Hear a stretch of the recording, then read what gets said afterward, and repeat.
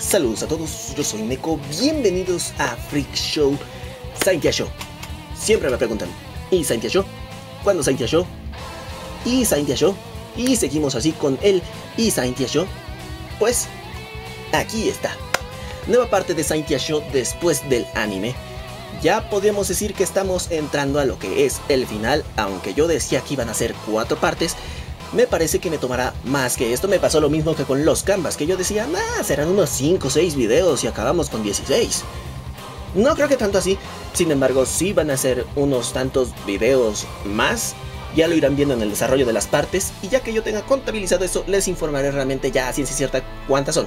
Por ahora vamos a entrar con esta temática. Ya tenemos a Mayura de Pavo Real en el terreno de las Dríades y eso será una ayuda o va a perjudicar a Shoko. Vamos con el video. Continuamos mirando un rincón del templo de Eris donde alguien desciende las escaleras. Al guerrero se le interceptan unas flores. Desde ellas una voz sale diciendo, ¿Qué crees que haces? Vienes al Edén cargando un cuerpo humano sospechoso. ¿Qué es lo que tramas, Aeson? Yo, como líder de las Dredes, no voy a permitir que continúes con ese comportamiento inaceptable. Aeson alza la mirada preguntando. Así que eres tú, Ate por órdenes de la señorita Eris, conseguí un nuevo recipiente para ella desde la tierra. Ah, te pregunta, ¿qué dijiste?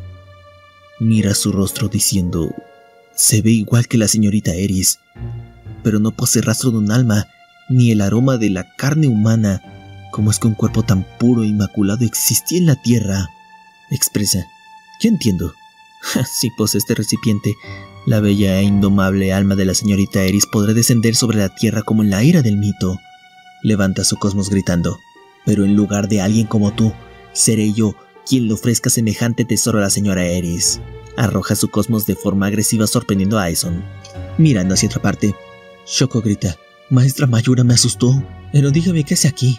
Pensé que solo las Saintes podíamos entrar aquí. Se pregunta, ¿acaso esta es una ilusión del enemigo? Mayura responde, no soy ninguna ilusión para confundirte. Simplemente encontré una manera de entrar al Edén. Shoko pregunta, ¿qué? ¿Cómo lo logró? Ella comenta, Shoko, no hay tiempo para discutir. Hay algo que tú y yo debemos llevar a cabo. Para lograrlo, hay que derrotar a los enemigos de este jardín. Ella responde, sí. Pregunta si vino a luchar a su lado. Por otra parte, se pregunta en sus pensamientos qué es lo que está pasando. Hay algo extraño en el cosmos de la señorita Mayura. La mujer le interrumpe comentando, ¿sabes algo? Me convertí en algo que no puede llamarse santo de Atena, y si hago algo que pueda dañarte, mátame, sin ninguna vacilación. Shoko pregunta, ¿qué dices? Mayura mira su mano respondiendo, mi cuerpo está siendo consumido por el mal. Soy capaz de mantenerlo bajo control por ahora, pero solo es cuestión de tiempo. Perdóname, Shoko. Eculeus piensa, no puede ser. El color de su armadura, ¿por qué está? Mayura interrumpe. Terminemos la conversación. Así como arriesgaste tu vida para tratar de salvar a tu hermana, yo también tuve un deseo por el cual he hecho lo mismo. Antes de que Shoko pueda decir algo, grita. Suficiente charla. El enemigo se está acercando. Le grita, viene desde abajo. Salta. Ambas se apartan de la tierra que se parte en dos. El cosmos, que sale desde abajo, hiere a ambas, razón por la cual terminan cayendo. Shoko alza la vista. Se pregunta qué. ¿Esto es un subterráneo? Mayura pregunta, ¿estás bien? Shoko responde, sí, estoy. Si no me hubiera advertido yo... Mayura grita, prepárate, de aquí en adelante no tienes ningún margen de error. Un cosmos se planta frente a ellas. Esta mujer dice, alguien se atreve a entrar a mi jardín y perturbar mi meditación con sus pisadas. Y sobre todo tú, rata fastidiosa, sigues perturbando el corazón de la señora Eris. Ate se levanta gritando, esta vez te aseguro que no te escaparás despedazaré tu cuerpo y fertilizaré mi jardín con tus entrañas. Ahora, enfréntate ante mí, ate la ruina. Shoko siente este cosmos diciendo, de algún modo es mucho más fuerte que antes. Mayura grita, eres un monstruo. ¿Cuántas vidas absorbiste para volverte así de poderosa? Ate, con un brillo dado en las manos, dice, lo que deseo es la sangre y la insensatez que ustedes poseen, miserables humanos. Ustedes que están destinados a caminar hacia la ruina son la fuente de mi poder. Shoko reconoce el Kansashi dorado que de inmediato Ate presiona con su cosmos partiéndolo en dos. Ate le grita, aplastaré todas sus esperanzas, llevarán sus cuerpos a la ruina y morirán por el bien de sus deseos. Shoko, furiosa, eleva su cosmos gritando, no voy a perder contra ti. Te derrotaré definitivamente. Mirando hacia la tierra, Milo mira el cadáver de Rigel, del cual sale una pequeña raíz. Asombrado, nota cómo esta pequeña raíz se vuelve una gran planta que se eleva hasta los cielos. Milo se pregunta, después de ser golpeado en sus puntos estelares, ¿la semilla maligna que consumía su cuerpo florece fuera de él? La flor que nació de su único deseo, ¿no?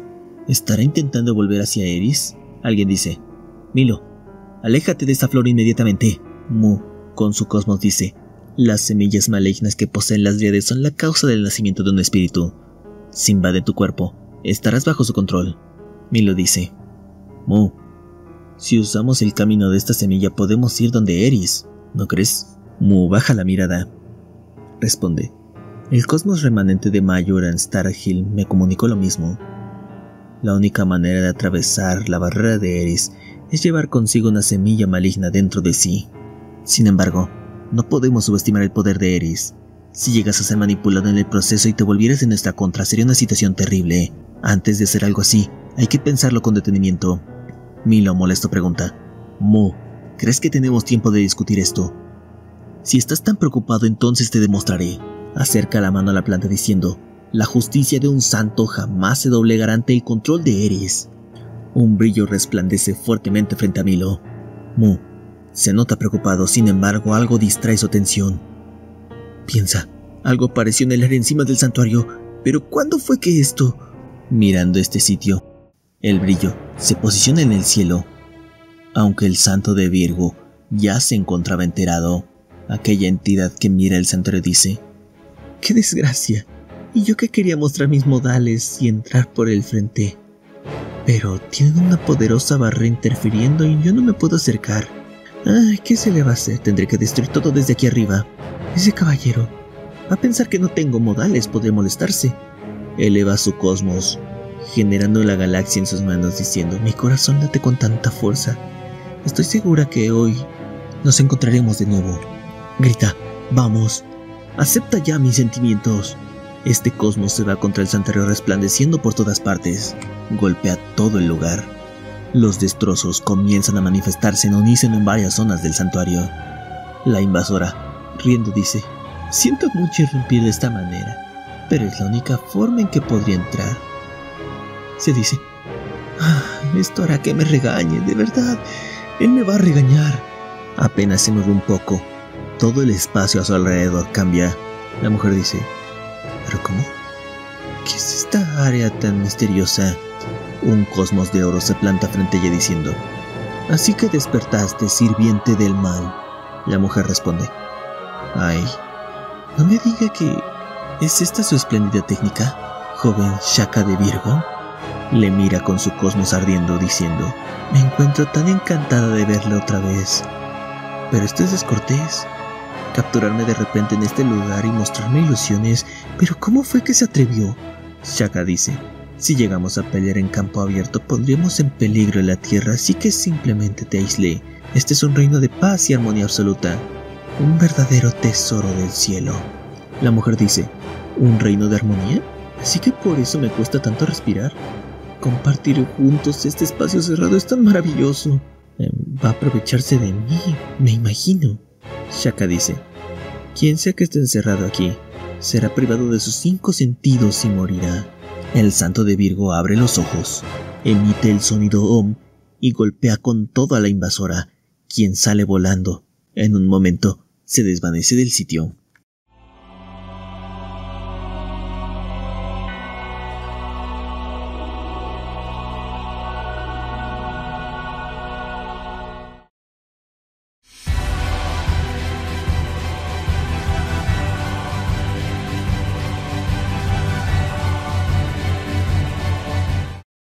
Shaka se percata de que la mujer se encuentra a sus espaldas. Le dice, pensé que mi corazón se detendría. Cuando abrió los ojos así de repente, sus ojos tienen un color hermoso, tan encantador.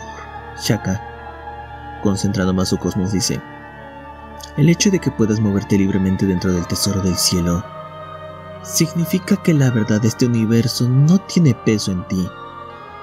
Dime qué eres, la mujer dice. Finalmente se interesa en mí, soy tan feliz. Pero es cierto, no me he presentado aún, ¿verdad? Responde. Soy la destructora del orden, la anarquía, disnomia.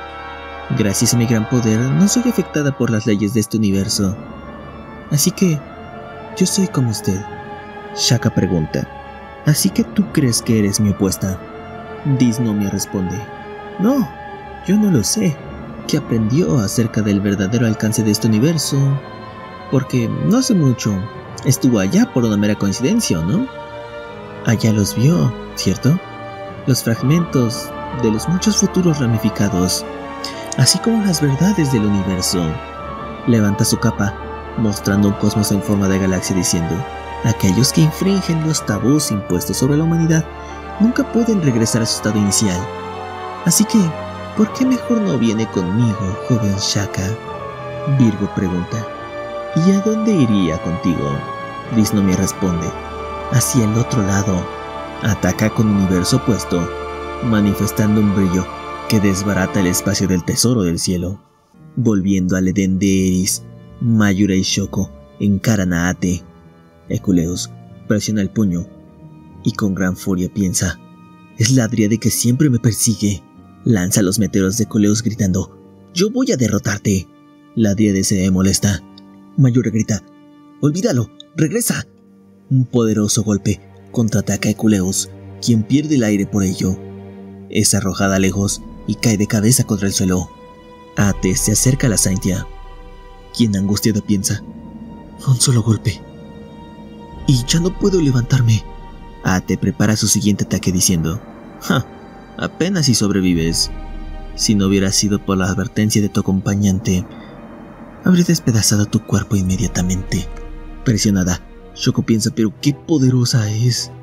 Mayura de repente contraataca con su técnica Ate, sobresaltada, recibe un golpe, aunque contraataca interrumpiendo a Mayura. Esta sale volando y se estampa contra el suelo. La diade de la ruina se para frente a ambas guerreras caídas. Exclama, por un lado la rata que continúa fastidiando a la señorita Eris, por otro la muñeca rota que ya no puede moverse tras ser poseída por el mal. No importa, es absurdo que basuras como ustedes crean que pueden derrotarme. Su sola respiración en este den es un pecado imperdonable. No solo ustedes dos. Este solía ser un paraíso para aquellos escogidos por Nuestra Señora Eris, y después de tanto tiempo estaba destinado a ser un hermoso dominio para que habitáramos luego de resucitar junto con nuestra madre. Pero ahora hay forasteros que piensan que el lugar les pertenece, deambulando incluso dentro del templo. ¡Qué imperdonable! Todo se arruinó. Levanta la mano amenazante gritando cuando no fuiste escogida como el recipiente. El destino se alteró y todo comenzó a derrumbarse. Tú, portadora de infortunio, te voy a despedazar aquí mismo. Lanza el ataque asesino contra Shoko.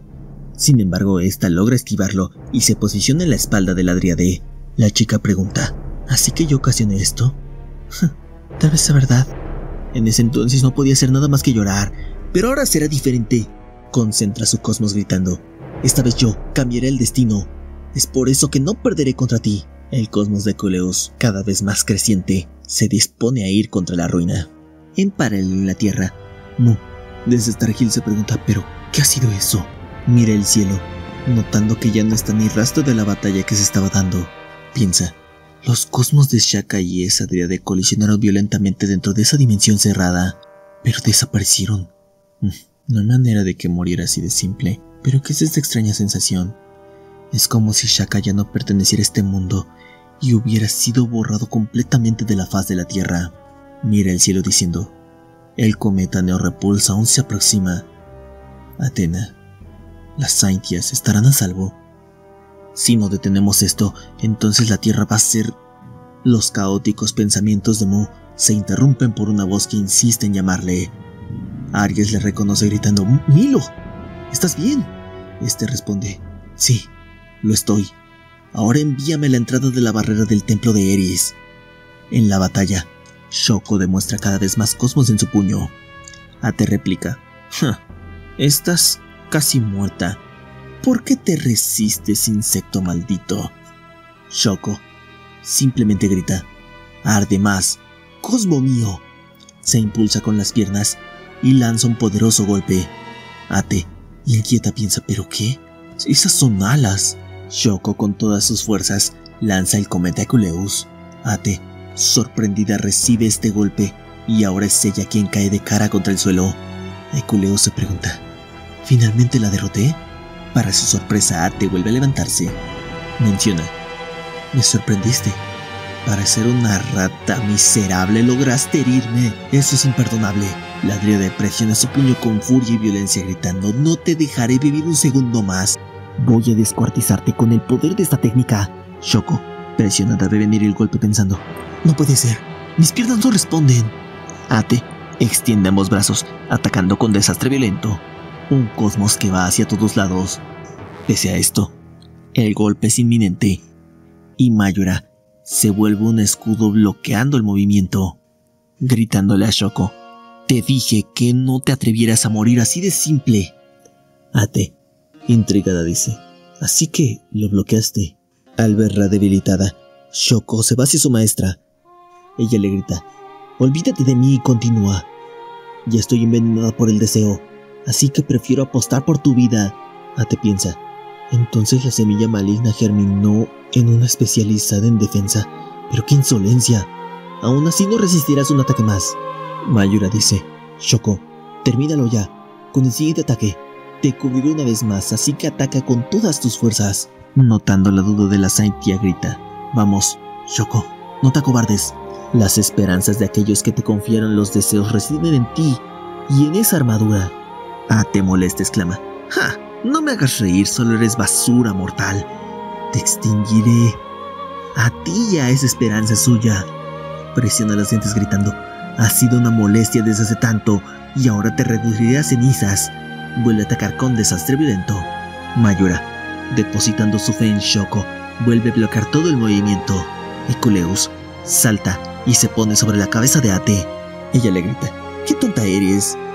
Aunque hagas eso, no podrás esquivar la fuerza de mi técnica. Al hacer arder su cosmos, Ate, sorprendida, grita ¿qué? ¿De verdad le crecieron alas? Shoko, elevando su cosmos, dice, Señorita Mayura, lo juro, no dejaré que sus esperanzas sean en vano. Ataca directamente con los meteoros de Culeus, llenando la Dríade con un sinfín de golpes. Llegando aquí al fin, lo voy a decir, esta es una temática que se está metiendo muy sutilmente y es el cuerpo de Olivia, el cual está puro e inmaculado y no se pudre, sin embargo pues no tiene alma y las dioses han puesto su ojo en él para que pues sea el enemigo final a vencer y eso siempre fue y será una idea maravillosa porque podríamos ver a las pues que fueran las dos angias de Culeos en una batalla final contra Eris de las maneras más épicas, mágicas, místicas. Ahí le voy a serenar. Sin spoilers, ya saben, ¿verdad? En lo demás, creo que fue un poquito más de retroceso porque volvimos a los básicos, a las peleas de Shoko contra Ate de la Ruina, la cual es un personaje cucaracha, de verdad. Es ese tipo de personajes que son derrotados y después resulta que aparecen porque su cuerpo era un huésped, porque tenían energía en otro lado, porque fermentaban su alma, porque etcétera, etcétera, etcétera. Y se vuelve ya como de siempre verlos. Consúltese el equipo Rocket para una referencia de sujetos que vencen una y otra vez y vuelven a salir. Afortunadamente, y esperemos no sea tanto el caso con esto, nada más es que no hay mucho que agregar aquí. Apenas vamos apretando desde ese lado, desde el lado de las Saintias, desde el lado de los Santos de Oro. Bueno, tenemos un gran ataque de cuestiones dimensionales con el cometa y con Shaka, quien se ha perdido con esta mujer que asegura ser la parte mm, como una especie de alter ego de Shaka, así que ya veremos cómo está ese asunto y qué es lo que va a suceder entre estos dos guerreros. Tendrán una lucha de verdad de personajes cercanos a Dios. ¿Qué va a pasar ahí? Ya lo verán en el siguiente video. Ya lo saben. Apoyen con un poderoso like, con un épico, maravilloso super gracias para que se siga viendo el apoyo en estos videos, sobre todo Glorioso Guerrera. Glorioso Guerrero, tienes la misión, que es compartir este y cada video de Sentia Show después del anime, cada video de narración, cada video de su sorteo definitivo Freak Show Alternative. Porque también es importante el Alternative, los dos.